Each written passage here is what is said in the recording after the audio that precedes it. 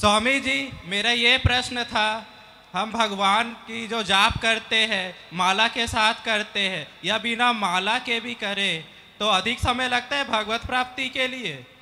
कि दोनों का अंतर मुझे समझना है। दोबारा बोलो। हम जैसे माला जाप करते हुए भगवान की पूजा बस मैं समझ। गया। धन्यवाद। वेलकम अब सुनो। ध्यान से सुनिए। शिव जी का मंत्र, पार्वती मैया का मंत्र, गणेश जी का मंत्र, रुद्राक्ष की माला से जाप करना चाहिए। राम जी का मंत्र, कृष्ण जी का मंत्र, नारायण का मंत्र, ये हमें तुलसी की माला से जाप करना चाहिए। अब सुनिए। तुलसी की माला से, रुद्राक्ष की माला से भजन करने का बहुत बड़ा फल होता है।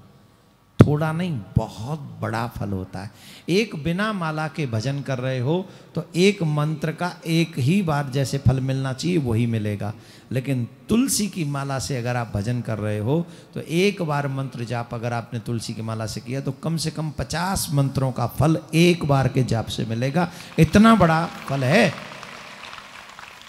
इसलिए हमेशा वैष्णवों को तिलक और माला, ये साथ में रखनी चाहिए।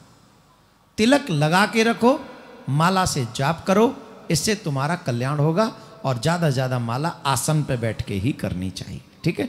राधे राधे धन्यवाद।